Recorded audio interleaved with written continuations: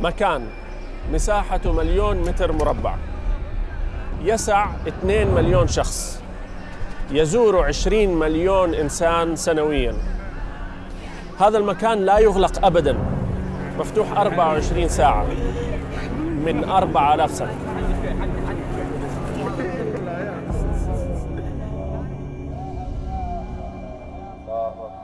يا أهلا وسهلا.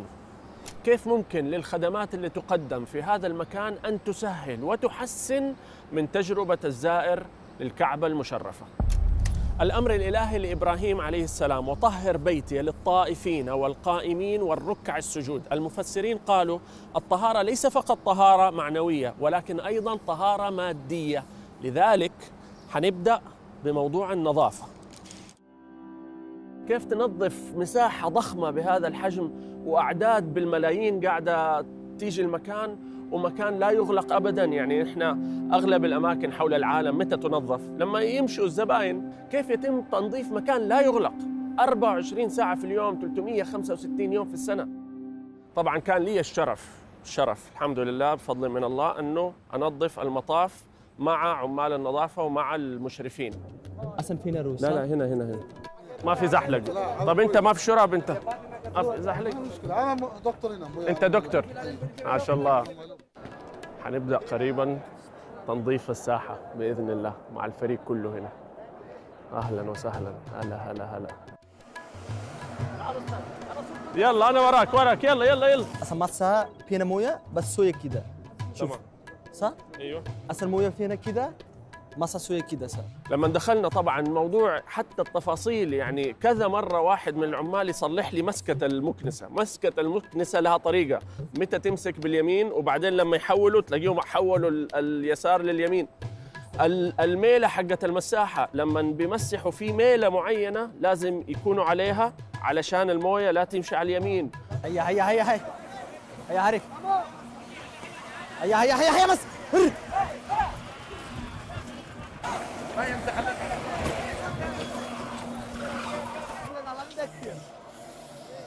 فهمت النظام أنا. ما أعرف الكاميرا بس أنا فهمت النظام. آه لازم جري. شوية شوية شوية هيا هيا هيا بس هر. هر. هيا بس هيا يلا استعجلوا أنا تعبت في النص يعني في النص تعبت شوية أحيانا. هيا مصر. رياضة. يا الجهد يعني آه، هي تبان إنها تسلية ولكن جهد كبير بيقوموا فيه علشان يخلصوا في المدة المطلوبة. آه، أحيانا بيجروا عشان يسرعوا لأن هم المساحات شغالة وراها السيارات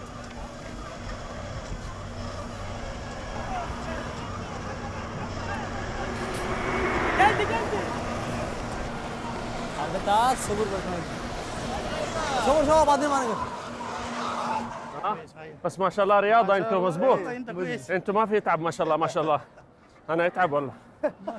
تمام. جزاك الله خدافيس يعطيكم ألف عافية. جزاكم الله خير مرة شكرا. يلا. بس أنا شفت أنت مرة كويس. كويس الحمد لله. مرة وأنت. مرة ممتاز. أنت مدير ممتاز. طيب خلصنا. شوفوا كم أخذ وقت كل الموضوع. أتنظفت ال- المطاف كله مساحة ضخمة. يوجد عشرات الآلاف من الناس قاعدين يطوفوا وتم الموضوع بسلام وبانسيابيه وخلال حتتحط على الشاشة دحين المدة. آه 25 دقيقة نص ساعة 20 دقيقة ما أدري. هذا الاهتمام علشان الناس لما تطوف تطوف في نظافة وفي طيب. الموية مو حاطين فيها موية ورد وبالمناسبة بنظفوا بموية عضوية ما هي كم ما هي كيميكلز أو كيماويات ما ما تضر الجلد ما تسبب حساسية للعين. فالكل دحين اللي قاعد يطوف قاعد يشم ريحة ماء ورد. أهلا وسهلا. ما في جزئية في الحرم إلا بتتنظف. أي مكان تتخيلوه. في 1800 عامل نظافة. 40 سيارة كهربائية. 60 آلة لتنظيف الساحات. 2000 حاوية في داخل وخارج الحرم. الأرضيات بتتنظف. الأبواب الأعمدة المنارات الأسقف. كل مكان بيتنظف. وفي مكان مرة مهم أنه يتنظف كمان وهو السجاد في الحرم. مع التوسعة الجديدة في أربعين ألف سجادة. لو انفردوا كده ورا بعض أطول من المسافة بين مكة وجدة. كيف يتم تنظيف هذا السجاد والعناية به؟ مرحلة إزالة الغبار والنبش. تعرف لما الواحد ينفض كده السجادة هذا نفط ولكن نفط آلي. مرحلة الغسيل. يتم غسل السجاد بالموية وبعدين بالصابون وبعد الصابون يتم غسله مرة أخرى بالماء. مرحلة التجفيف. ماكينة مخصوصة لتجفيف السجاد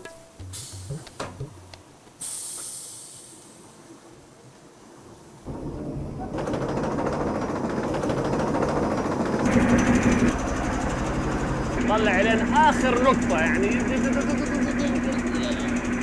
كذا خلصت. طبعا هذا التجفيف الأولي لما يفتح أيوه هي كده في زر لازم ينضغط ما علينا. فهذا التجفيف الأولي. المرحلة الخامسة مرحلة النشر. يتم نشر السجاد في الهواء الطلق علشان ينشف بالكامل ويذهب للمستودعات. وقبل عملية التخزين يتم عملية كنس علشان لو في غبار في نمش باقي يخلصوا عليه. بعدين مرحلة التخزين. هذا المستودع يسع 15 ألف سجادة تغلف جاهزة للذهاب للحرم عند الحاجة. بعد تنظيف السجاد في عملية التعطير. يتم تعطير كل سجاد الحرم بماء الورد وهذه عملية تتم بشكل يومي. في ربط واضح جدا وثيق بين الرائحة والخشوع. يعني أنت لما تيجي تسجد وتشم رائحة ماء الورد في السجاد. هذا الربط يساعد في موضوع الروحانية.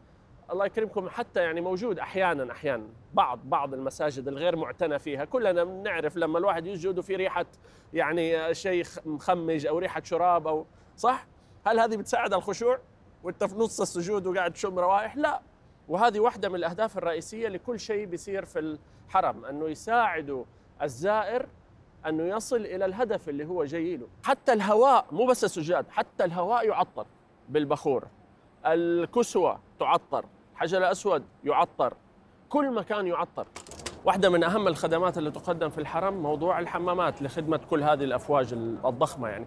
تخيلوا في الحرم مع التوسعة في 13 ألف حمام تنظف أربع مرات في اليوم وأغلب هذه الحمامات تحت الأرض. كل الحمامات مجهزة بمراوح بعلامات المخارج الطوارئ بالناموسية. والآن أضافوا الجهاز ده. إيش بيسوي؟ بيضخ مادة عبارة عن بكتيريا نافعة تتغذى على البكتيريا الضارة المسببة للروائح الكريهة فتطلع ريحة عطرة للناس.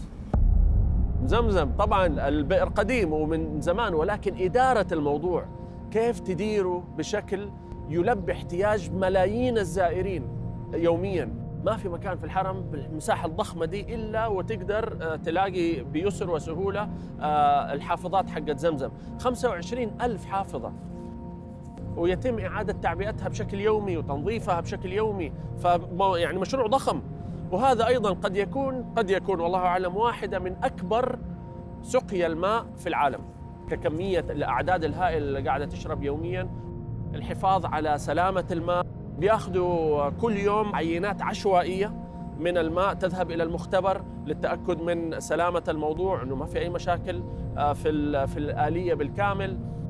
أيضا خدمة جميلة آه، جربتها. بوفروا حتى للطائفين مياه آه، زمزم. وبالمناسبة في عمال متخصصين حتلاقيهم زي اللي لابسهم الآن. شايفين هذا اللبس اللي هو البيج لونه بيج. هذول عمال متخصصين فقط لسقيا زمزم.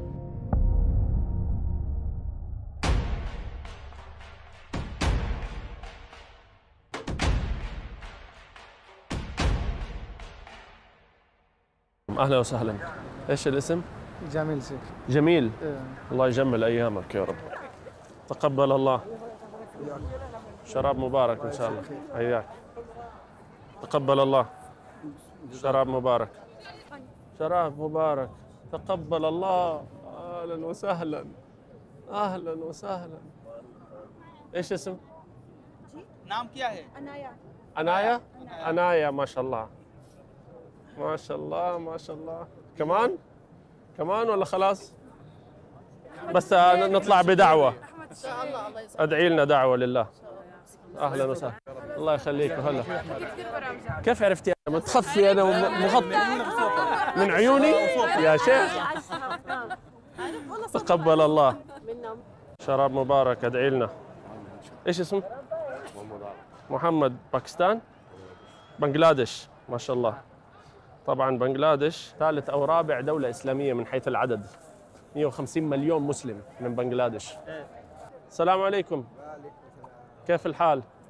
الحمد لله لاهور. لاهور لاهور. لاهور. ما شاء الله. تحياتي. هذا جمال الحرم. كل الجنسيات.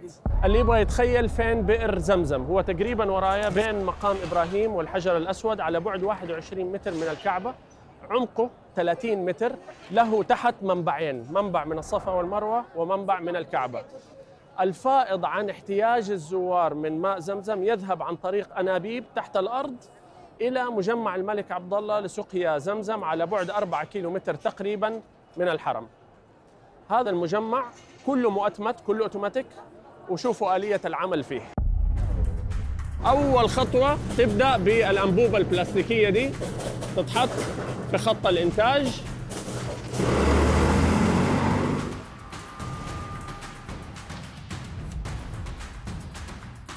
الأنبوبة الصغيرة تتحول إلى الجالونات دي في مقاسين هذا 5 لتر وفي 10 لتر. الماكينة دي طاقتها الاستيعابية بتخرج قارورة كل ثانية. هذه مرحلة وضع الستيكرات على القوارير كله بشكل أوتوماتيك. مرحلة التغسيل. القارورة بتتغسل أول ومرحلة التغطية أيضا تتم أوتوماتيكيا.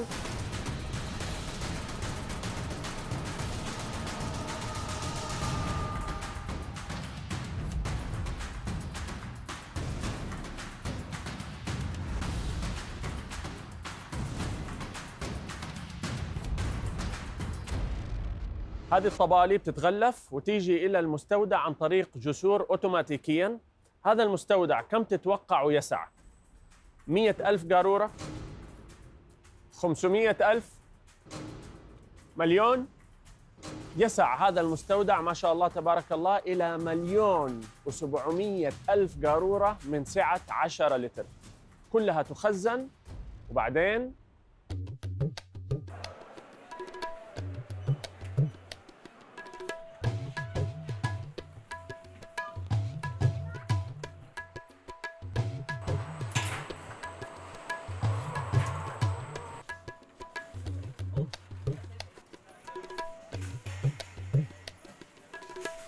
طبعا ليه الموضوع ده مهم؟ اللي يفتكر كان زمان النظام كان ما كان في نظام أصلا. فترة ما قبل المصنع. كده عشوائية. آه، ناس تستغل الحجاج. أحيانا ممكن الواحد ما هو متأكد الم- الموية هذه مغشوشة حاطين عليها موية ثانية ولا لا.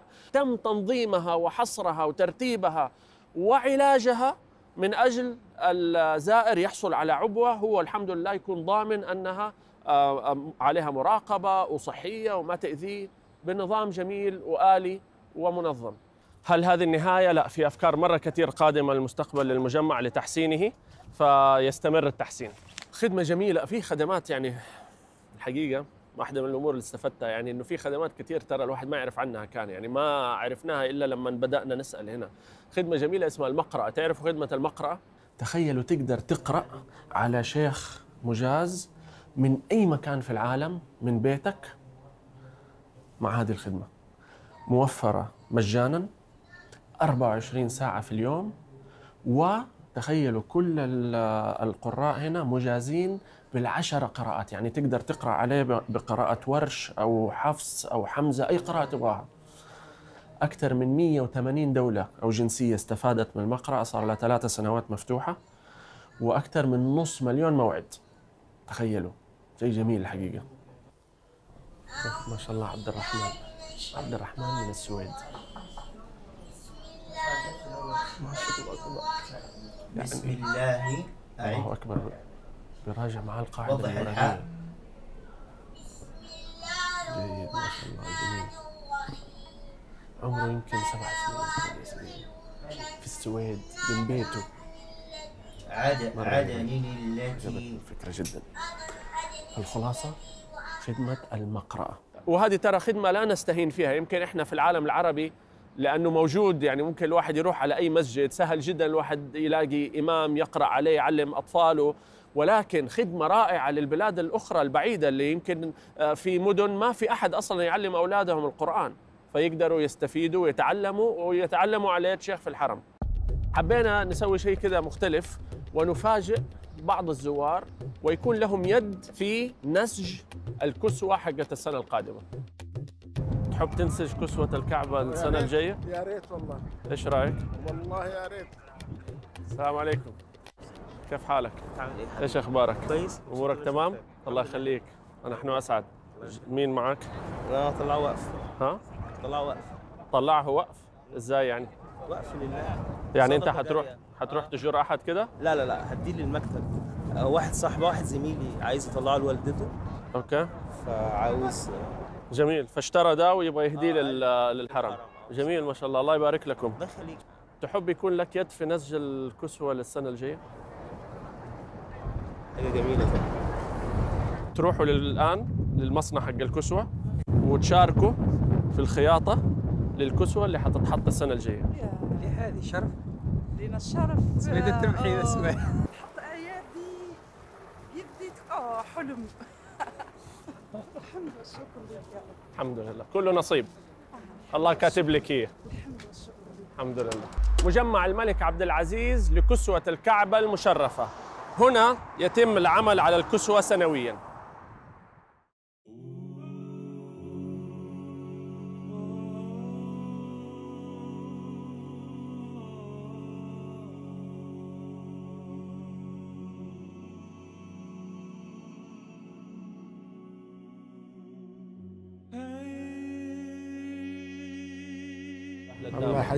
يسلمك. ما شاء الله تبارك الله. ذلك الفضل من الله. ذلك الفضل. تحت. إيه. تسحب الابره دي فوق. هي طلعها. بس هي نزلها هنا. طبعا دفها من تحت بيدك. ما شاء الله تبارك ما شاء الله. هي هنا. وراها بالضبط. تسحبها بال- باليسار. إيه تسحبها باليسار تشدها. تقوم تجيب الملف هذا هنا.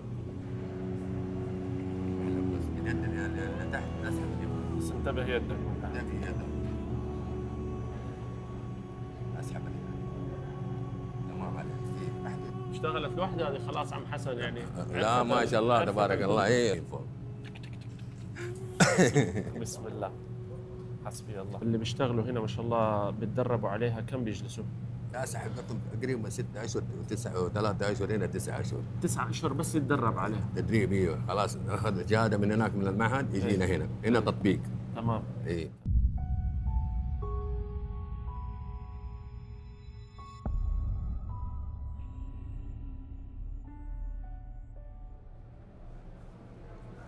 فطبعا آه، الأخ عبد الجليل آه، هو آه، سائق الليموزين اللي وصل ال- الضيوف لهنا. فلما عرف تحمس وقالوا لي إنه دمع فأضيف واحد إلى قائمة اللي اللي خيطوا صار عندنا عبد الجليل من الهند. الحمد لله.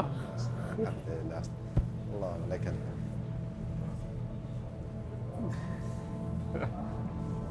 الله يكتب لك الاجر ان شاء الله يعطيك العافية. موفق إن شاء الله. الله يفتح عليك. سوي لنا دعاء. الله يجزاك بالخير.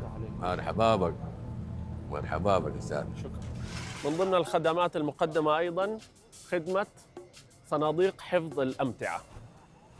في أكثر من 2000 لوكر بكل الأحجام لخدمة الزوار وكله ما شاء الله ميسر وأوتوماتيك.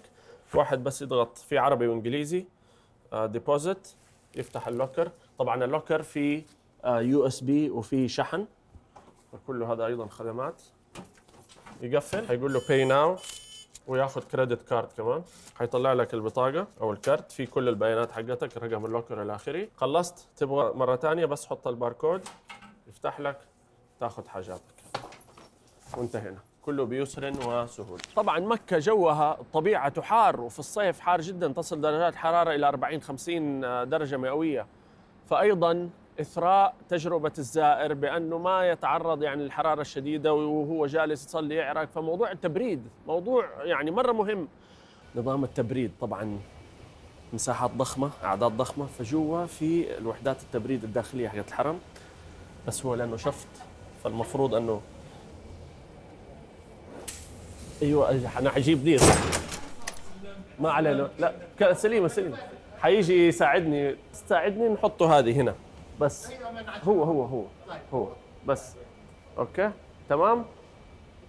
بسم الله. بسم الله. ادعي أنت بس سوي دعاء. أو نجرب دي. 20 مكنة؟ يلا. تعال تعال. إيش بتسوي؟ حجر حجر حجر. بس حطه هنا. أيوه بس أيوه. أيوه تمام. يا سلام عليك؟ هذا الهدف أصلا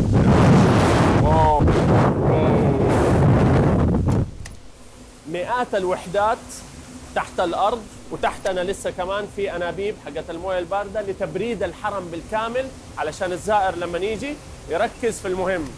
طبعا كل اللي راح الحرم لاحظ أنه البلاط حتى لما يكون في عز الظهر يكون بارد ما هو حار ما يلسع الرجل. السر هو في نوع هذا البلاط أو الرخام. هذا رخام جايبينه مخصوص من تاسوس. هذه منطقة في اليونان جبل في اليونان. جايبين الرخام من هناك خصيصا وتقطع. هذا ميزته أنه يعكس الضوء ويعكس الحرارة. ومو بس حرارة البلاط اتجاه البلاط مدروس. حتلاحظوا أنه كل البلاط في الحرم متجه نحو الكعبة. ليه؟ علشان الآن مثلا إحنا في المسعى لو أدن يعرفوا فين يتجهوا حتى لو ما حد شايف الكعبة. وهذا صعب هندسيا يعني شوفوا الميلة دي علشان يهندسوا البلاط بهذا الشكل. فهو قرار ليس بناء على الأسهل ولكن الأحسن. كل البلاط اللي في الحرم يتم تقسيمه إلى zones أو مناطق تتم مراقبته من قبل مراقبين وبعدين معالجته. زي هنا دحين الأخ شعبان شغال على الترويب. آه، أي مسام موجودة في الرخام يتم علاجها.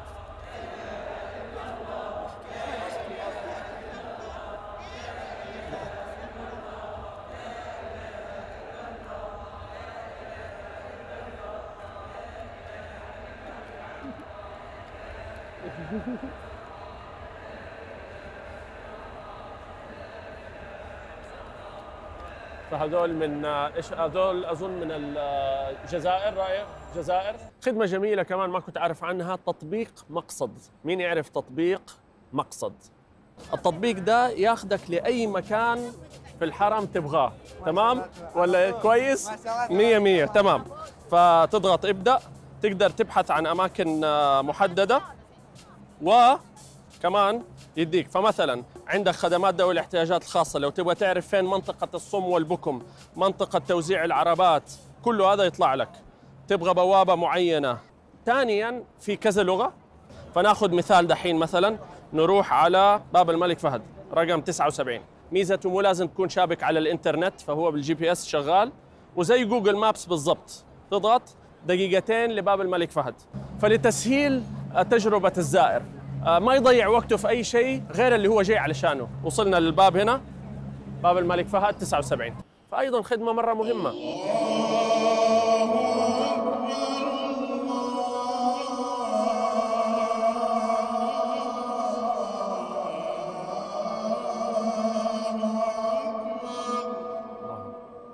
النظام الصوتي. النظام الصوتي. انت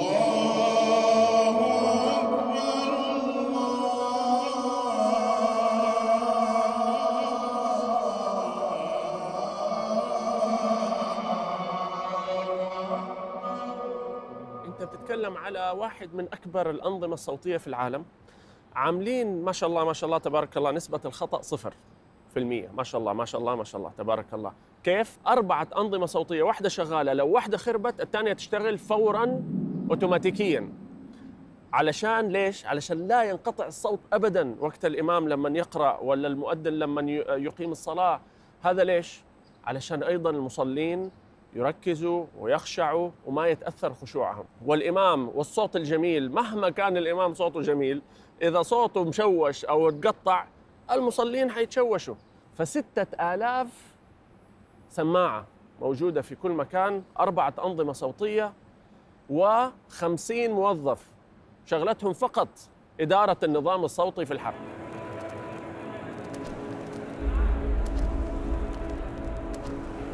تخيلوا أنه 80% من المسلمين ليسوا عرباً. أكثر خمسة دول فيها مسلمين ليست دول عربية.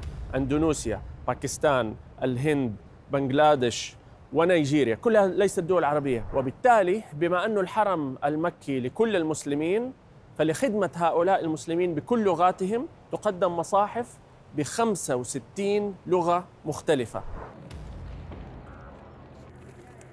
حضرنا خطبة جمعة.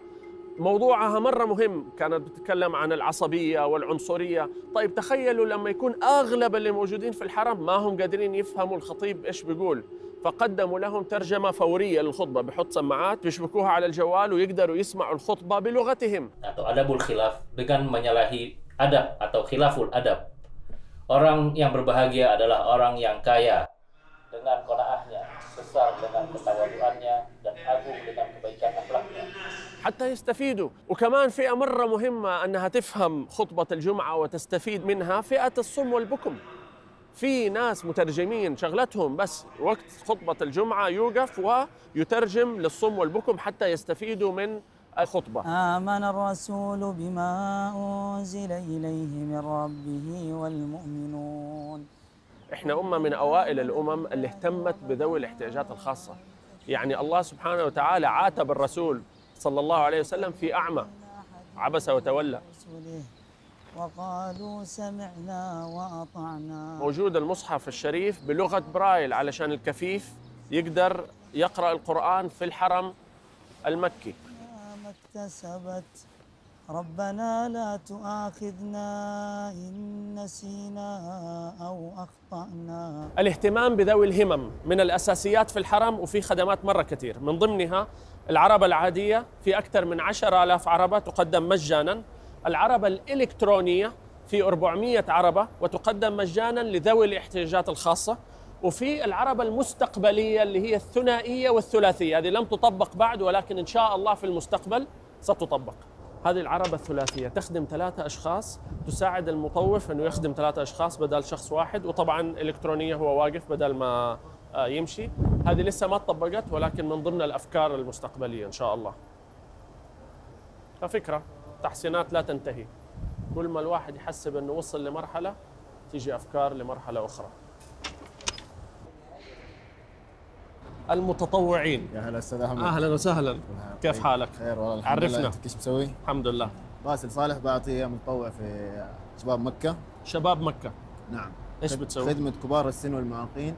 اللي يجونا من كافه دول العالم نخدمهم إحنا طواف وسعي لوجه الله تعالى أنا ما نبغى إلا الدعاء منه. شيء جميل الحقيقة ما في أحلى من كذا والله. من أحلى من أحلى من أحلى أعمال التطوع أظن أنك تطوف الناس حول الكعبة وفي المسعى. من كم لكم ساعة بتطوع؟ أنا آه، في عندنا أربع ورديات كل وردية ست ساعات. أنا 24 ساعة يعني. 24 ساعة طوال اليوم طول السنة. دوامي أنا من 6 ونص الصباح ل 12 ونص الظهر. ما شاء الله تبارك الله. الله يوفقكم. آمين يا رب ويطرح. لكم البركة بإذن في الله. وقتكم وجهدكم. آمين يا رب وياكم الجميع إن شاء السلام الله. عليكم. تطلع لك كذا بدعوة من حاجة من أندونيسيا ولا من ماليزيا تطلع من القلب. هذول بيجوا ترى بيجوا من يعني آلاف الاميال وقلبهم يعني أو يعني الروحانية اللي فيهم غير إحنا اللي معتادين على الموضوع كل يوم بنزور. سبحان الله القلب يعتاد.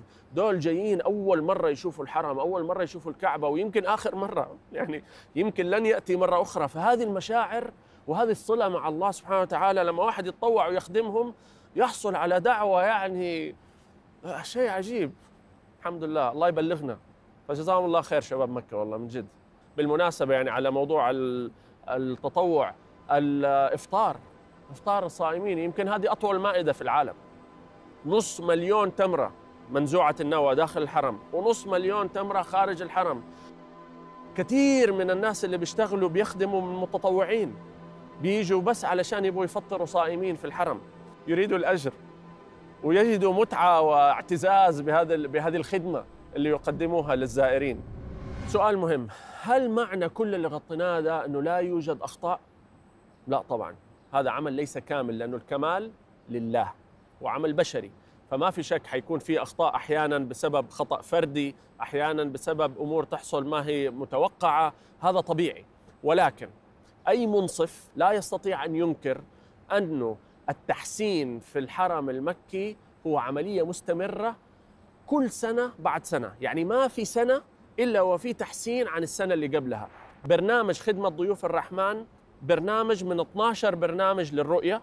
مئات المبادرات ومئات الجهات المتعاونة ستقدم تحسينات كبيرة جدا خلال السنوات القادمة وهو ركن أساسي من أركان رؤية 2030 اولا شكر على كل ما بذل من جهود ودعوة بالتوفيق لكل ما سيبذل من جهود للمستقبل. bangga melayani Anda. حاجة خدمات فخرها sommes fiers. De vos services. It's an honor to serve you. خدمتكم افتخار ماست. نفخر بخدمتكم.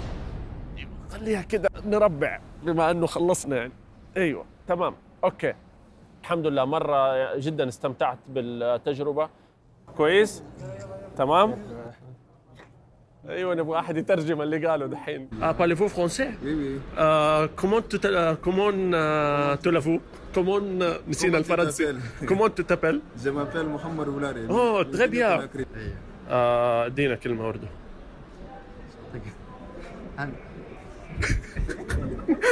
راحت اللغة. الماكينة دي طاقتها الاستيعابية بتخرج قالون. الماكينة آه، سوي لك headstand كل الأماكن حقت الحرم المراقبين شغالين أكثر من حقول أكثر من 24 ساعة. ما في أكثر من 24 ساعة في اليوم هي 24 ساعة فقط.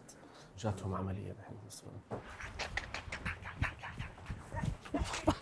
أحكي إيش راحت الجزمة وراح الكروكس أحكي إيش أقول. يعطيك العافية. خلصنا. باذن الله أخذ المايك معي يعني؟ آه لا ده خلاص تمام. شكرا جزيلا. يعطيكم العافية موفقين. شاكرين كالعادة أنكم بتسمحوا لنا أنه ندخل بيوتكم وندردش معاكم ونديكم شوية يعني يعني أفكار وشوية طروحات. أتمنى تكون جيدة. أي كلمة أي معلومة آه، أي شيء كويس أتقال في في الفيلم ده فهو بتوفيق من الله سبحانه وتعالى وببركاته. وأي خطأ صار احتمال نكون مع قلنا معلومة غلط أو قلنا شيء غلط فهو غير مقصود آه، وهو مننا ومن خطأنا البشري والكمال لله. شكرا على المشاهدة. كل عام وأنتم بخير. تحياتي. أهلا وسهلا. خلاص؟ خلاص. الحمد لله. الحمد لله الحمد لله الحمد لله الحمد لله الحمد لله الحمد لله الحمد لله. تمام. شكرا.